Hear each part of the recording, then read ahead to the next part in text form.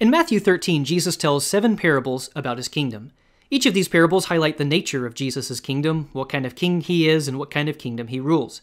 In this video, we will focus on the parable of the wheat and weeds. This parable is a second cousin to the parable of the sower, which focuses on the planting and growing of the seed, whereas the wheat and weeds focuses on the harvesting of the seed. It says, He presented another parable to them. The kingdom of heaven may be compared to a man who sowed good seed in his field. But while people were sleeping, his enemy came, sowed weeds among the wheat, and left. When the plant sprouted and produced grain, then the weeds also appeared. The landowner's servants came to him and said, Master, didn't you sow good seed in your field? Then where did the weeds come from? An enemy did this, he told them. So do you want us to go and pull them up? The servants asked him. No, he said. When you pull up the weeds, you might also uproot the wheat with them. Let both grow together until the harvest. At harvest time, I'll tell the reapers, Gather the weeds first and tie them in bundles to burn them, but collect the wheat in my barn.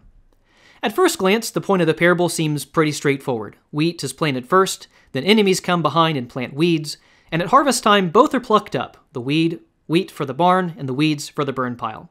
But there's a little more going on here. The weeds Jesus speak, uh, speaks of are actually tares, a specific kind of weed, the darnel or rye grass that flourishes in the wheat fields.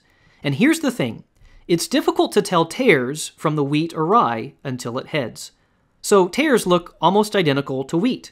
Question Why did Jesus choose tares? He could have chosen any kind of weed, like dandelions or thistles or just general weeds, but he didn't. Instead, he deliberately chose tares. Why? Jesus teaches that what looks like wheat may not actually be wheat. It may, in fact, be worthless weed. This coincides with what the Bible teaches elsewhere that things are not always what they seem. This also explains why the landowner didn't allow his servants to gather the tares up. Not only would pulling the tares risk damaging the roots of the wheat, the harvesters may accidentally pull the wheat up itself by mistaking it for a tare. Like when we first planted our vegetable garden this year, I accidentally pulled up an onion plant thinking it was a weed. Needless to say, we haven't harvested any onions this year. But what does this have to do with Jesus' kingdom? Read his explanation. The one who sows the good seed is the Son of Man. The field is the world, and the good seed, these are the children of the kingdom. The weeds are the children of the evil one, and the enemy who sowed them is the devil. The harvest is the end of the age, the harvesters are angels.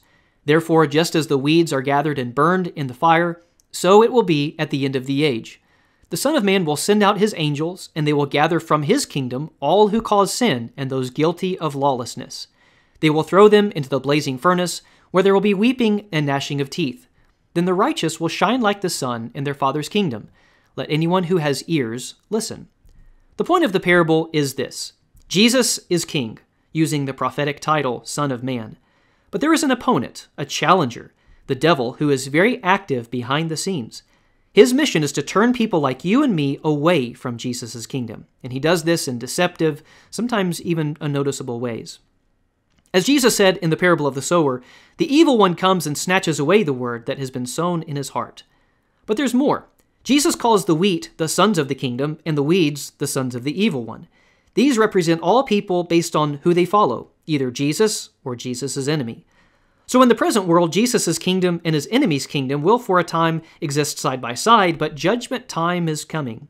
And when that day arrives, the enemy and all his followers will be exposed for who they really are.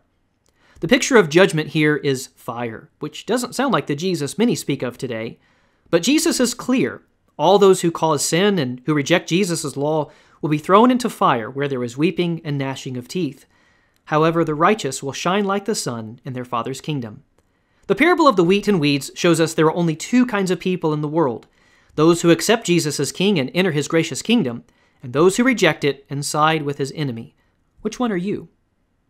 Reach out to us on Facebook or our website. May God bless you today.